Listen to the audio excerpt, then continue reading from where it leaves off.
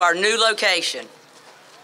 I would also like to welcome and thank Governor McMaster for choosing our family farm to sign the 2024 South Carolina Farm Bill. I'd like to give you a brief history about us.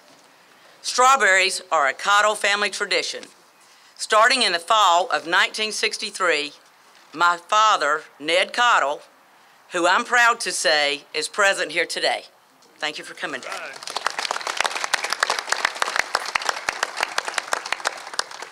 He planted his first strawberry field, excuse me, in Faison, North Carolina. He sold his produce, like all the other farmers, to his local produce buyers market. Then, in early 1970, North and South Carolina had so many farmers growing strawberries, causing an overabundance of the crop that the produce buyers offered so little for the farmers' strawberries, causing an overabundance of crop, I'm sorry, uh, for the strawberries that many farmers started dumping their harvest in the rivers to dispose of the overabundant harvest. It was said that that year the rivers in North Carolina ran red from all these discarded strawberries. My father, being the true entrepreneur, decided he would rather have the fate of his success fall upon himself and not others. So he opened his fields up to the public for the U-Pick strawberries. He was the first strawberry farmer in North Carolina to do this. His original Pick Your Own Strawberry Farm was in Goldsboro, North Carolina. With that farm's success, my dad expanded his operations throughout eastern North Carolina. And in early 70s, opened his first strawberry farms in South Carolina. These farms were located on White House Road in Columbia and near Alligator Road in Florence. When my father retired in 2002, I took over South Carolina strawberry operations. In 2010, I moved the White House Road Farm just right down the street to Detroit Road for more acreage and easier access for my customers. Then, in 2020, I purchased the old Sedgewood Golf Course here at Garners Ferry Road with a dream of converting the 183 acre property back into a farm and adding more agritourism activities for Richland and surrounding counties. In early 2023, a developer approached me with an offer too good to pass up to build over 800 properties on this site. But as my son, Hunter, said to me, Mom, some dreams are not for sale. Uh, thank you. So here we are today. I decided not to sell out to the developers and instead chose to invest over $1.2 million in our community.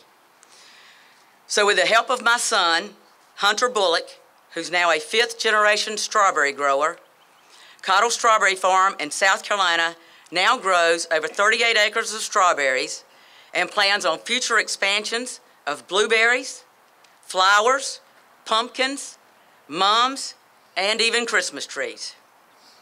This spring, we opened Cottle Fun Farm, is where we are today, a 12-acre park to experience that both something special for young and old to enjoy.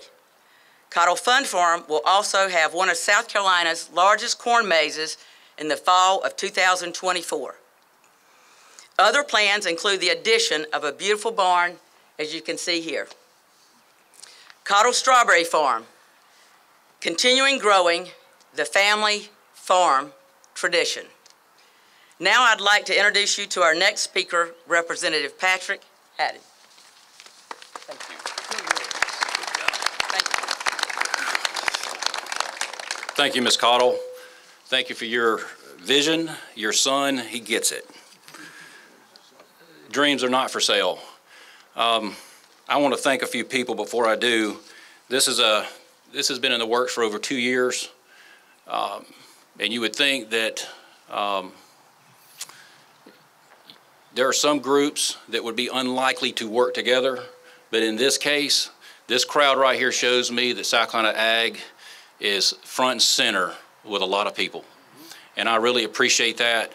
Coming from a seventh, I'm a seventh generation farmer. We've got some, I know we've got one uh, young farmer from La out here is a ninth generation. We have got to keep our farms sustainable. We've got to keep those properties intact with those families, and this bill is going to do that. Governor, I want to thank you for signing this legislation. Thank you for your support. Your team has been behind it all those two years. Um, it will be monumental with the changing of the landscape of ag in South Carolina. Thank you so much. I want to thank my chairman, Bill Hixon, who allowed us to go through the committee process with this, Bill Chumley, our subcommittee chair, uh, Senator Climer, President Peeler, Commissioner Weathers, thank you for your staff and helping with this. I can't thank, there's so many people, Farm Bureau, uh, the Conservation League. Uh, there's some 40 groups that got behind this to see this get done. And it's all about that next generation. So I want to thank you. Thank you for coming out this morning. Governor, whatever you did to get us this weather, continue to do it. Thank you so much. I'd like to introduce the President of Farm Bureau, Harry Ott. Good morning. Good morning. Thank you, Patrick. Um, I want to thank each and every one of you for coming out this morning. What it shows me and the rest of us is your commitment to protecting agriculture in the state of South Carolina. I also want to thank a lot of people, but I want to thank the governor first and foremost. Uh, it was probably two years ago we were up on the ridge looking at some peaches, and the governor made a statement that he wanted to help protect agriculture. And what this is all about is trying to find that balance between industrial development and growth and agriculture.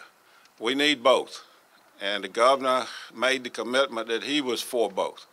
And I believe our elected General Assembly, with the passage of this bill, have recognized that yes, we need to develop, but yes, we also need to protect our heritage and our agricultural property.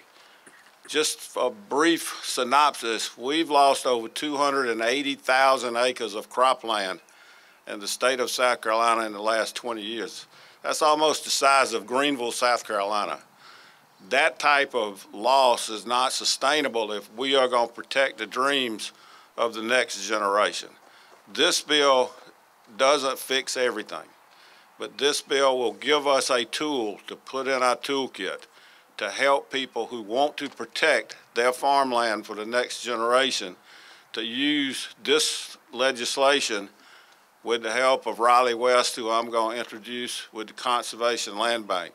But this bill shows that our elected officials understand that agriculture still is the number one industry in the state of South Carolina, and it is part of our heritage, and we want to make a commitment to protect that part of our heritage for generations to come. So I want to thank all of our elected officials for starting the process of recognizing the importance of agriculture in the past and the present and also in the future. And now I would like to introduce Raleigh West, who's the Executive Director of the Conservation Land Bank, who all of our process, processes when we try to do land trusts come through the Conservation Land Bank. And it's another commitment that our General Assembly has made. So Raleigh. Thank you all for being here. And Ms. Cottle, thank you for hosting us. I can't imagine a more fitting place to talk about saving farmland and how important it is to South Carolina. I was coming down, I was reflecting on my remarks, and I thought I'd share this story. It was about a year ago. I went to go see the my, my former board member, uh, the late Larry Yonce. Uh, he has a big peach operation out in Johnston, South Carolina.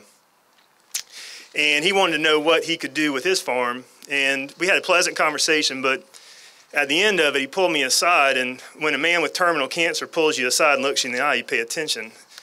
And he said, if farmland, it ain't gonna happen in my lifetime, but if farmland and down the road ceases to exist in South Carolina, it won't be because we made inferior products or grew inferior crops It'll be because the policies weren't in place to save them. And I think old Larry's smiling down on us right now because this is uh, certainly a step in the right direction. And what I love about this bill is it does two things. It's the same uh, two sides of the same coin. It gives farmers the opportunity to liquidate equity out of their land, their most valuable holding, without having to sell it, as if they agree to keep it in farming. But this isn't an entitlement program. This is an investment by the state of South Carolina to make sure that places like this last well beyond our lifetimes. And I'll, uh, I'll end with this. I was at a meeting once and I heard a preacher gets up and he says, I'd like to make an invocation. And he says, Dear God, please give us the wisdom to know what we have before we lose it. And I would just like to extend that and say thank you to the collective leadership of the state of South Carolina because I think they are bearing witness to that same wisdom. And I uh, am humbled and honored and uh, by the challenge here. And I pledge to you that we'll do everything we can to make sure that places like this are around beyond our lifetimes. Dr. Whiteside with South Carolina State. Well, good morning, everyone. good morning. Well, to Governor Henry McMaster and Commissioner Hugh Weathers, I want to thank you all for inviting South Carolina State University to be a part of this and witness this milestone. Well, the economic landscape of South Carolina is marked with progress and advancement. We boast a vibrant and competitive economy led by agricultural, forestry, and tourism industries. Millions of people from around the world recognize South Carolina as a cultural gem, and more and more individuals and families are calling South Carolina home. While our progress makes South Carolina a better place to work, live, and play, our increasing development threatens the loss of agricultural lands across the state. From the breathtaking Blue Ridge Mountains in the upstate to the gleaming coast shorelines of the low country and every place in between. South Carolina rural communities are rich in farmlands that grow foods that we eat, produce fibers that provide the clothes that we wear, and timber that provides shelter. All are vulnerable to development. Sustainably decreasing these lands in these communities that supports the state's leading industry, which is agriculture. SC State PSA appreciates the contributions of these communities, the farmers and their families, and we recognize the need to preserve our valuable farmland. For many of the state's smaller minority farmers, the land on which they toil was handed down through generations from ancestors and family members who dream was it who dream it was to own land. Through our experienced and dedicated extension staff and researchers, SC State PSA actively works to ensure their dream persists. We offer heirs property education and training, as well as access to legal resources. The Agricultural Lands Pres Preservation Act will add to our toolbox to ensure farmlands are preserved and remain an asset to build generational wealth and provide income that helps to improve the quality of living and the standard of living for all South Carolinians. As we think about the preservation of working farmlands, what is keenly important is our vision for the future. We must continue to invest in opportunities that educate and train South Carolina's youth to become advocates for the industry and visionary leaders who will advance agriculture far beyond our imagination. Now, I know the South Carolina women Gamecocks won the national championship, led by the great coach Dawn Staley, but today's signing is a win for South Carolina's agriculture industry because it ensures our economy continues to grow and thrive in the years to come. It is a win for South Carolina farmers and producers because it provides support and resources to help keep their families viable, and it's a win for the citizens of the state of South Carolina. I also want to thank our SC State farm partners, as well as our advisory council members and staff who joined us here today for this historic signing from across the state. And to thank you again, Governor McMaster and Commissioner Weathers, for including SC State PSA in this celebration. And I will close with Nothing can be finer than living in South Carolina. Thank you.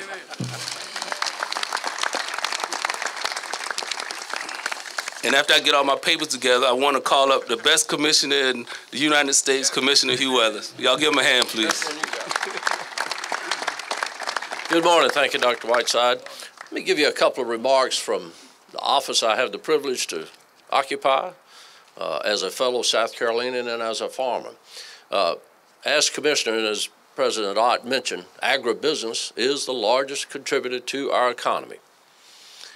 It all stands on the backs of farmers and foresters. About 23,000 farmers producing what we grow to eat, wear, drive with, build our homes, creates over a quarter of a million jobs all across the state. Puts $50 billion through our economy, all because we grow things. We'd spend that same money on those finished products. They just come from who knows where. But because we grow things, it's created here. And we can't grow things without what? Land, or trees, or ponds, or forests. Uh, so this is very important to recognize the economic value and the economic contribution by agriculture. Now, we're all members of a great state, now approaching, what, five and a half million.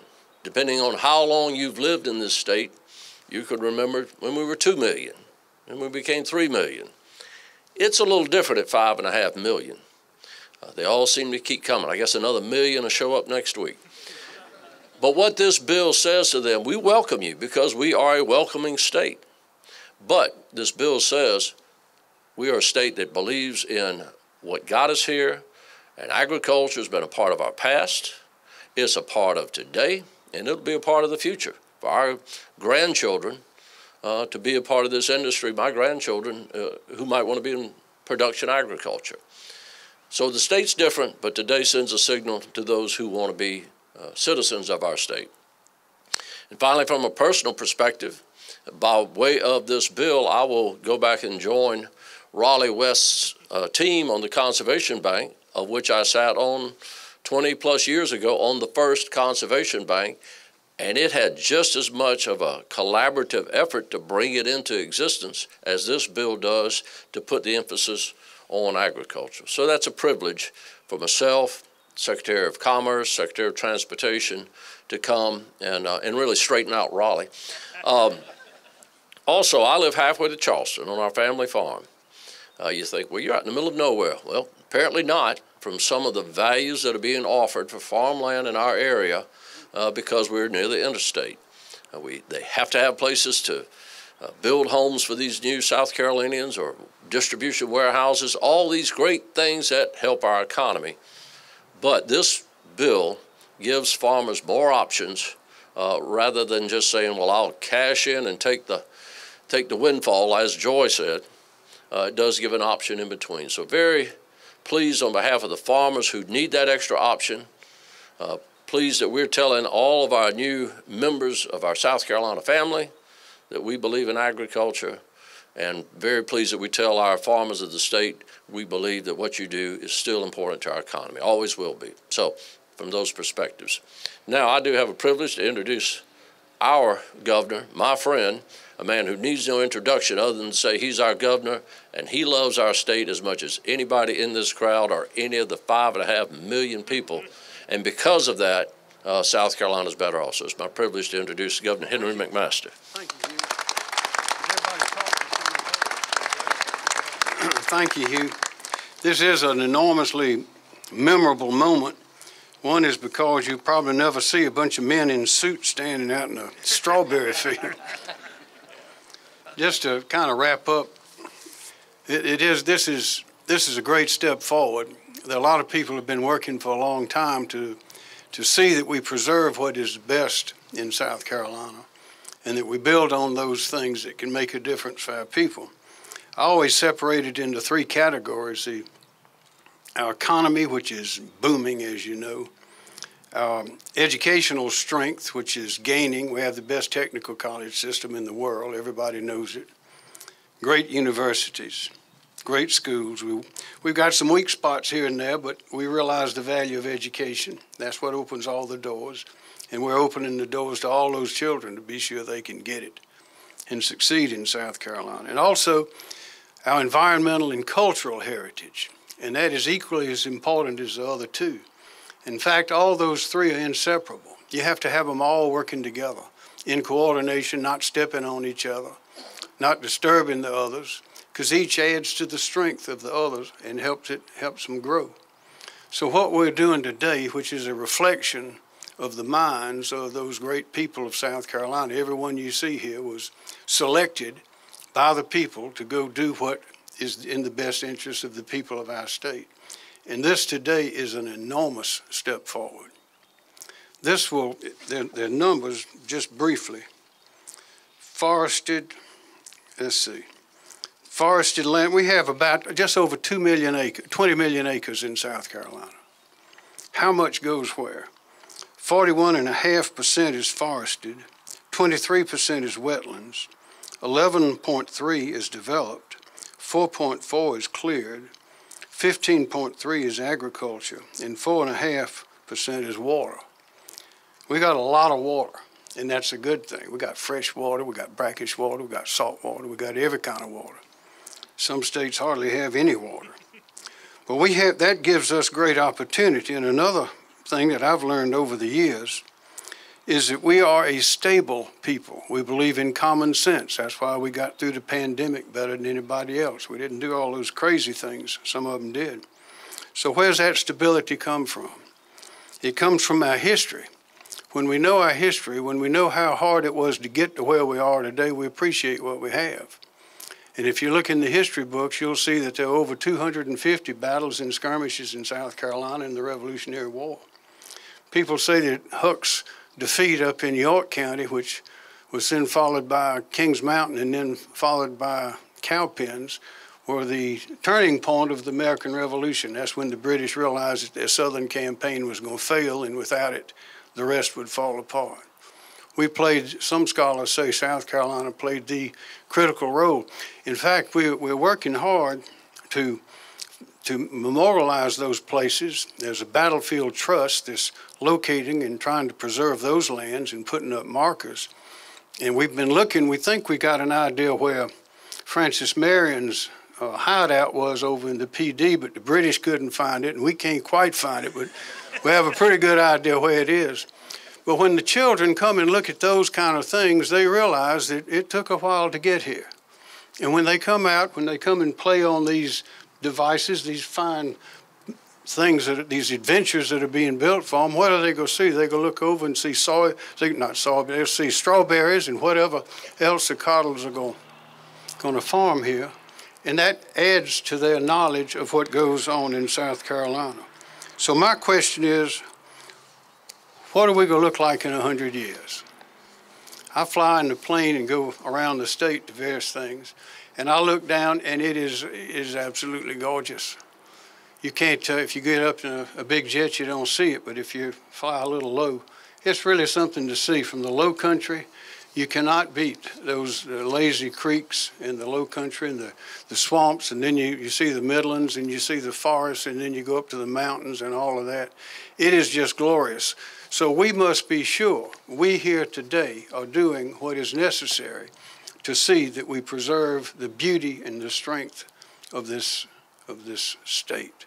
So I want to thank all of you for being here, and I'm reminded, I've learned this, our stability, I think, is built in because there are a lot of people who don't give to flights of fancy and philosophical ideas that make no sense, and that includes farmers. You got to pull it out the ground.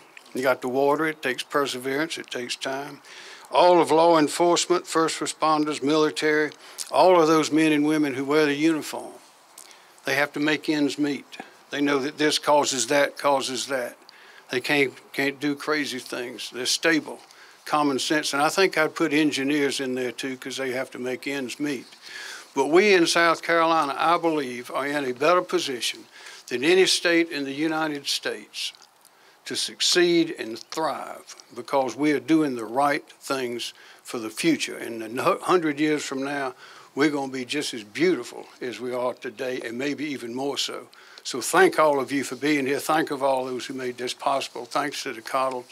And now if anybody's got an easy question, we'll try to answer it. Otherwise, we'll sign the bill. Any questions? No questions. Ready?